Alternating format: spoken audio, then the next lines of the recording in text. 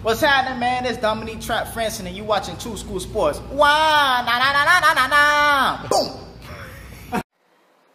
The untouchable Tru School Sports Empire proudly presents something the boxing game's been missing. Hey, what's going on? It's your boy BT, and I came here to talk some boxing with the thousands of Tru School Sports subscribers. Now, let's talk about Wanheng Menayothin.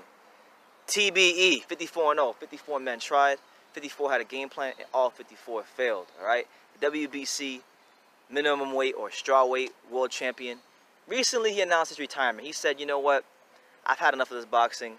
You know, I'm going to take some time in my body to heal. I'm, I'm, I'm hanging my gloves up, right? So that was, that was a couple days ago. Then a day after he announced his retirement, he then says, well, no, he's not retiring, which, which, makes sense because it was only just last June that Manny Menayothin signed a deal with Golden Boy Promotions. So he's back. He's back. And you know what's funny? I've been knowing I've been knowing about Wanheng Menayothin for a long time, but this is actually my first video about him.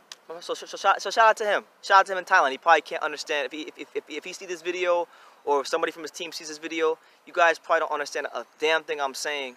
But shout out to you, champ. 54 and 0. I don't care what nobody says. Everybody everybody was saying when De, everybody was saying when Deontay Wilder. Everyone was saying when Deontay Wilder was like you know 40 and 0 whatever he was. They were like, oh my God he knocked out all these people. You know how hard it is to beat all these guys. They're all grown men. Well, you know what? We're gonna apply.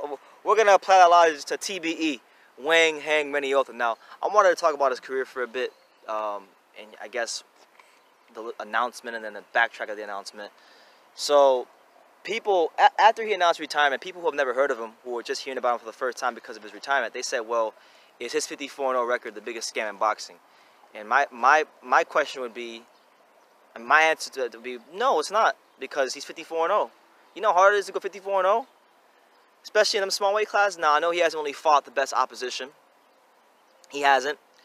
Uh, but guess what? He's what? I think he was 30, 33, 34 years old. He signed a, he signed a promotional deal with Golden Boy Promotion. So he was to, you know, he's on this cusp. And now that he's coming back, he might just be fighting. He might just be fighting the top opposition, the top opposition, top opposition. Jesus, BT, sound it out. Sound it out, BT. Top opposition that we want to see him fight. Obviously, in, in that weight class, there's the big fight, the big unification fight with the other best fighter in the division, uh, knockout CP Freshmart. And that's the fight I want to see. I want to see Wanheng Menayothin, a.k.a. TBE, the real one.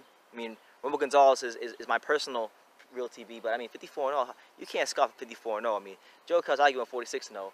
Mayweather went 50, 50 0, but this guy's 54 and 0. 54 had a game plan, 54 fell, and they kissed the feet of the king, Wanheng Menayothin. Now, listen, all jokes aside, he's in Thailand, and one thing people must understand about boxing, especially about fighters that are not from the States and come from third world countries, um, it all comes down to resources and who you have behind you.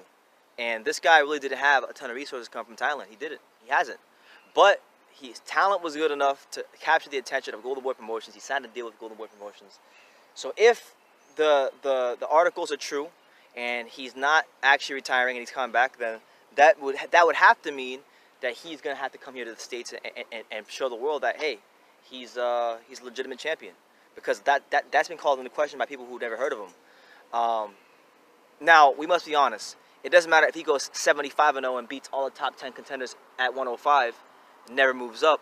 There's always going to be a, a, good percentage of boxing fans that don't know who he is because they, people just don't watch boxing uh, that small, that, that far down the weight classes. You know, some, a lot of people stop watching boxing or stop following the weight classes after 126. That's just how. That's just the nature of the game. But I'm interested to see it, it, it, him come to the states. I, I, I really want to see it, man, because um, I'm actually I'm actually I actually want to see for myself if, if how, how good he really is um, because I, I, mean I haven't had a chance to I haven't actually watched sat down and watched any of his fights. I've seen clips here and there, but I haven't actually I haven't actually had the chance to sit down and and, and, and, and bless myself by watching TBE fight. But um, you know he can't be trashed he's 54 and 0. Um, and yeah, what what what I, what I wanted to say is is that boxing uh, and this is something this is something that, that a lot of times boxing fans don't understand. Um, I understand this because I I'm, I get a lot of I get a lot of access to what goes on in the South Florida boxing scene. And a lot of the fighters that train here, and they tell me things about how the boxing actually works, and I get I get information that way. But um, a lot a lot of times boxing is is just resources because you can have a fighter that could have every intention of the world of, of wanting to be to prove himself to be a great fighter. Um, but either A, he doesn't have the money behind him to get certain opportunities. B, um, he's in a country where the best fighters uh, are not there. Um, it's, just, it's just a lot of politics that goes on in boxing. And I'm not saying that you can't overcome these politics because you can. If there's will, there is a way.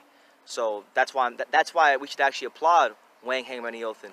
He came from a country where traditionally, you know, um, most fighters do not do not get any sort of attention from American promoters.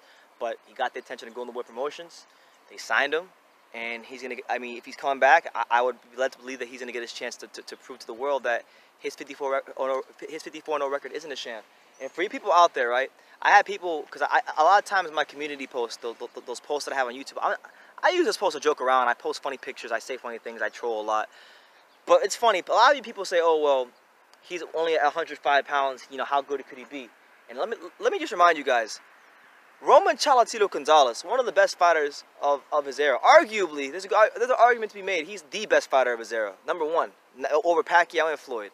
And you guys are going to say that's crazy. Um, and maybe, maybe, that's a video I could do later on. But there's an argument to be had that he's argued that, that he's the best fighter of his era.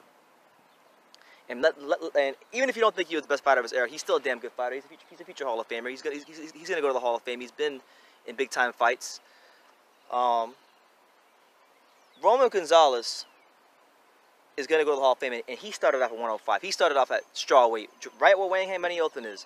Um, but he scaled weight classes, and that's how he got his attention. He, get, he, didn't, he didn't get his attention as a 105 pounder. He had to move in weight. Now, I don't think Manny Menayothin's going to move in weight because he's already 34, 35 years old. This isn't like a Roman Gonzalez scenario where he's coming to the States at 28, 29 years old. He's a lot older. He's, his body's a lot more mature. But the fact remains, the guy should get respect.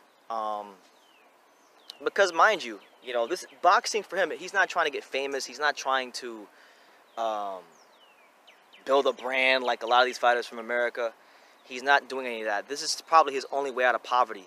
And um, I'm behind the guy. I want to see him do well. I want to see him succeed. I want to see him just uh, become everything he can be. But anyway, that's the news, man. Menayothin is going to come back. He's going to um, he's going to come back. He's not retiring. They're saying that that's not going to be a thing. And I'm looking forward to seeing how it all goes for him. I'm rooting for him. I want to see him definitely uh, progress and, and, and show show the world that, hey, uh, not Rungvisai isn't the only good fighter from Thailand, and, and, and I can fight too, and that my 54 record isn't a sham. And that's just what it is. So you guys leave your comments down below. Hey, what's going on? It's your boy BT.